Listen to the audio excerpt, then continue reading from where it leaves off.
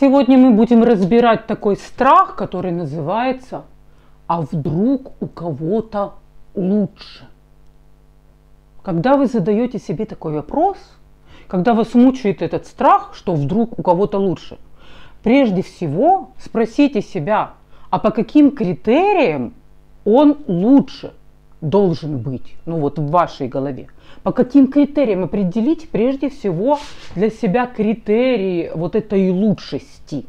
Кстати, это очень-очень полезная вещь, именно конкретные вот критерии, конкретные. Какие для вас критерии?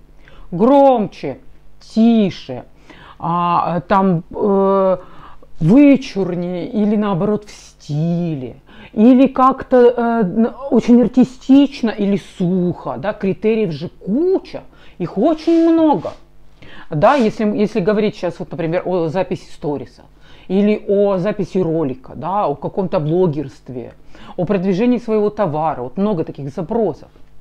По каким критериям у конкурента, как вы считаете, может быть лучше, чем у вас? Потому что критериев же масса, их, их не перечесть на самом деле. Их не перечесть, конкретизируйте, просто запишите себе. Вот какие критерии для вас важны, по которым э, кто-то может быть лучше и, и, и вас. Потому что э, если себя сравнивать с другим, то по каким-то критериям, которых миллион, кто-то обязательно будет лучше вас. И даже любой будет лучше вас, с кем вы будете себя сравнивать. Но в чем-то он будет лучше. Поэтому это довольно такое вот, вот неблагодарное совершенно дело себя сравнивать. И оно, оно бесполезное довольно-таки сравнивать себя с кем-то. Если вам уже очень хочется сравнивать, вот проводить сравнительный анализ, то тогда сравните с собой. Не себя с кем-то, а сравнивайте с собой чтобы это для анализа как бы, для анализа, а не для того, чтобы испугать себя, понимаете, вот, что у кого-то лучше, у кого-то лучше. Тут еще вот такой важный момент, что выгоднее всего же нам какие стороны э, свои развивать, какие свои таланты развивать, которые у нас самые сильные, правильно? То есть свои индивидуальные сильные стороны. И получается, что дело даже не в том, что кто-то лучше – да, а в том, насколько вы раскрыли свой потенциал. Вот что, какой вопрос себе надо задавать. Да? А какие мои индивидуальные козыри? А какие мои индивидуальные особенности, которыми я могу козырнуть? Да? Как, какая моя изюминка? Что я могу такое сделать, чего нету других? А у вас точно есть то, чего нету других. Но это абсолютно точно. Потому что мы все индивидуальности. И другого такого, как я, нет. Другого такого, как вы, нет. Это понятно.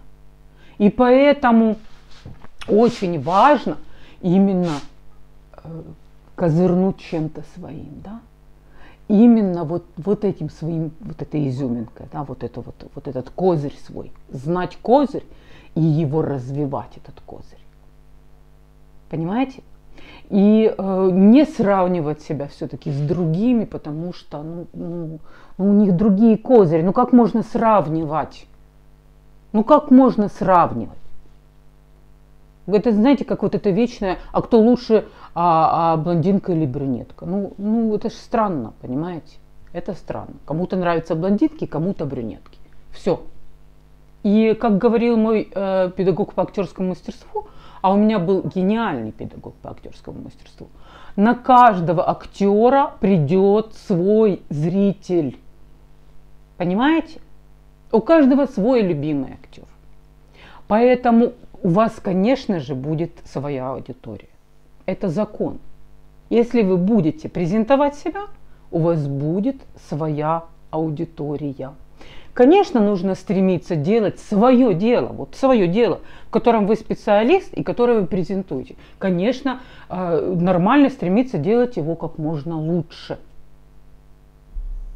При этом самым главным вашим козырем в подаче этого есть ваша индивидуальность. Так что Я желаю всем приятных, хороших начинаний, веры в себя, любви к себе, заботы о себе, понимания своих сильных сторон. С вами была Мария Липинская. До наших новых видео встреч.